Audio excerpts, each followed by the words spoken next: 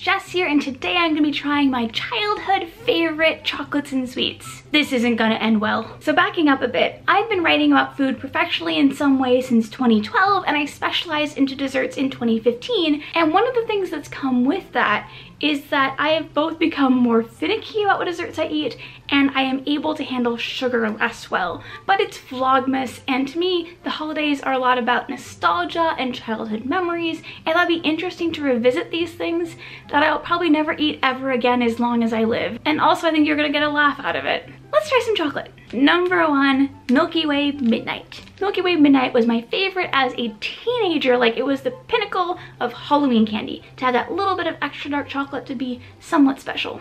But okay, so this semi-sweet chocolate has sugar, chocolate processed with alkali, chocolate, what is chocolate in this context? Cocoa butter, milk, fat, soy lecithin, which is an emulsifier, natural flavor. That is not real chocolate. Real chocolate, at most, should have three ingredients. Cacao, cocoa butter, sugar. That's it. There's an argument to add vanilla that's still in the system and soy lecithin is very much being discussed in quantity right now because it is made with petrochemicals and so there's a big discussion about whether or not that is part of the craft chocolate system. But no this is not chocolate. This is some kind of processed sugar thing.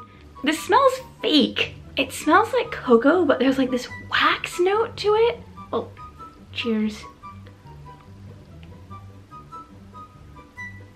I don't taste anything. Oh my, there's some kind of a cocoa note, some kind of a sweet note. It's a good texture. It's soft and chewy and it kind of melts evenly, but I'm not tasting the intensity of burnt sugar notes of caramel. There's no darkness to the chocolate. I'm just tasting kind of soft, fluffy cocoa. Like, where is the caramel in this? I am a caramel geek, so to taste nothing, it's just offensive.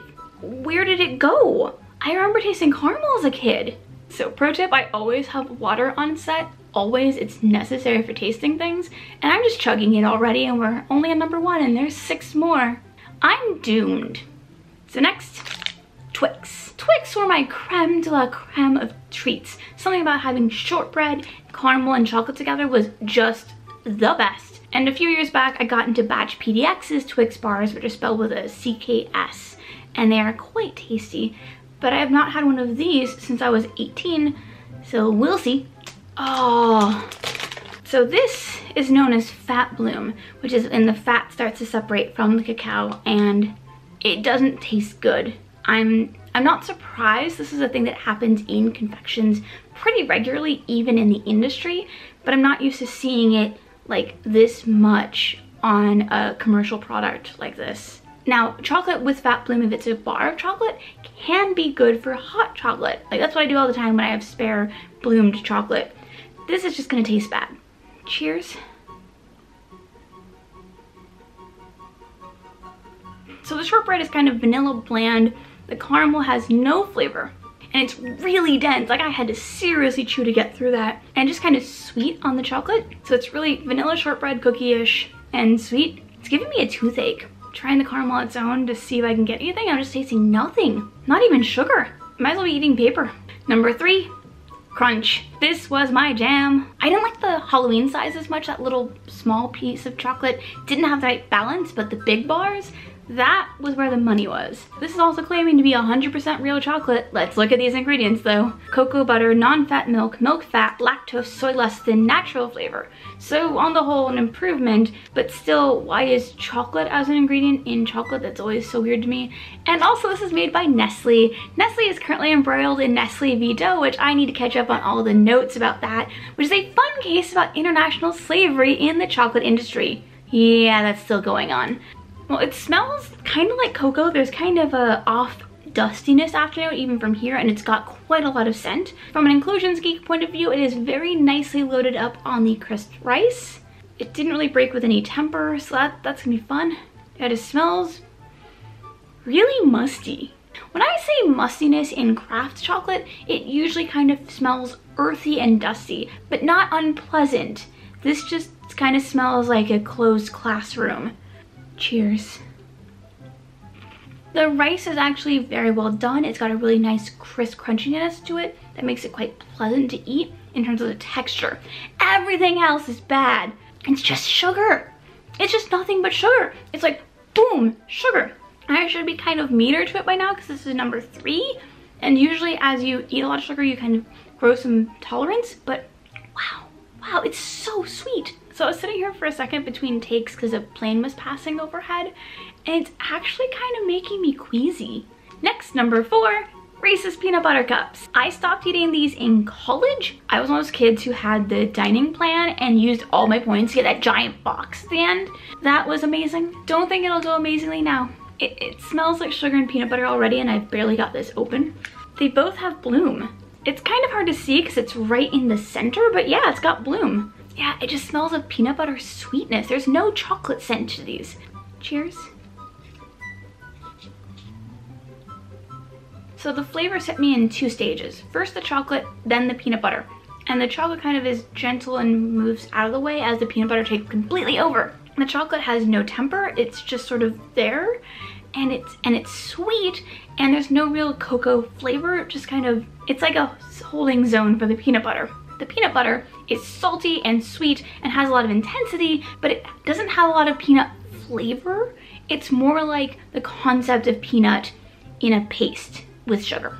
And there's this unpleasant afternote that I can't quite explain that's very chemical. It's just like sugar chemicalness. So now we're moving out of the milk and dark chocolate into Skittles. I, I really like Skittles in general, but Wild Berry was the fancy way to go, so I thought I'd grab one today.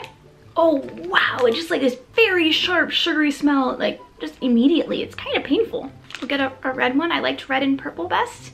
Cheers. Hmm. Feels like pops of juicy fruit punch, but it's very hard. This Skittle is very tough to chew through. And each time you chew, you get a burst of sugar and a burst of that juicy fruit punch. Let's try a berry. That same density, but it's got more of a bubblegummy berryness to it. It's just so sweet.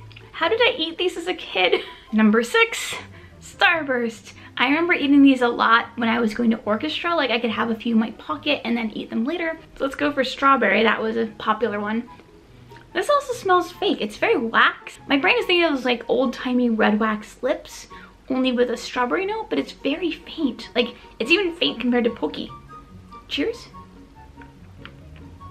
Least awful of the bunch. Super tough to chew through, like, oh my goodness. But once it sort of warmed up, it had a pretty nice fake strawberry flavor. Like, it was artificial strawberry and kind of pleasant. Still very sugary, and as I'm sitting here, I'm just tasting sugar. Like, it's, it's like having strawberry sugar on the palate, but I don't feel nauseous and I don't feel really grossed out. It's just very hard to eat. So that's a bonus. Last, one of my favorites, also the one I am most terrified of now as an adult, Hershey's Cookies and Cream. Let's look at the ingredients. Wait, where's chocolate? This isn't chocolate. This isn't white chocolate. This is an abomination. So you should see cocoa butter listed on the freaking thing to be white chocolate. That is a standard by the FDA. There should be sugar, cocoa butter, milk fat. That is the core of white chocolate. Cocoa butter isn't in here. I've read this over like three times now because I'm kind of horrified. The only mentions of cacao or cocoa or chocolate in this are that there's cocoa processed with alkali, which is definitely for the cookies, that's Dutch processed cocoa usually, but then contains 2% or less of chocolate. There's no cocoa butter. No, oh my, this is candy masquerading as white chocolate, and I'm so upset about it now. Oh my goodness, so freaking mad. Like Hershey's, it doesn't even smell like white chocolate. So cocoa butter should have kind of a fattiness to it. It's a little sweet, not tropical, but sweet and almost buttery. This just smells like sugar. Really sweet cookie sugar and wax. Cheers. Bear with me here. There is an actually vaguely okay cookie note, but it's dry. Like the cookies are dry and not in a pleasant crunchy way. They're just kind of drying and sweet and sugar and again waxy. It's not a pleasant experience. It's not a chocolate experience. I'm sad. This should not be your introduction to white chocolate. White chocolate has flavor, it has complexity, it has stuff happening. It is not this lifeless shell of a candy that they are calling a chocolate bar thing. There's no word of chocolate on the front. It is a creme bar because you see Hershey's is being very careful. That is not listed as a white chocolate. It is cookies and creme. And that is what it is, but not in a pleasant way. There aren't any like cookies and cream dupes in the market that I can specifically recommend, but I'm going to find one specifically because of this video because I am so mad. This is what people think white chocolate is. It's just, no. Like, no wonder people are coming to me or like you might say to me, Jess, I don't like white chocolate. Of course you wouldn't like white chocolate if it tastes like that. I'm just mad. I need to calm down. and I get it. Craft chocolate is expensive. And white chocolate can be even more so because cocoa butter is a separate process and not every maker has access to the way to make it themselves. So it can, it can cost a lot. But you could buy smaller amounts of white chocolate and actually eat white chocolate as opposed to whatever that's meant to be. And it'll taste like chocolate or cocoa butter or at least have flavor. On that rage-inducing note, those are my thoughts on my favorite childhood chocolates, which I am never eating ever again because I'm either now angry or terrified by them. Fun times! I'd love to know what your favorite childhood treats were in the comments. As always, it's been super great hanging out with you and I will catch you in the next video. Later!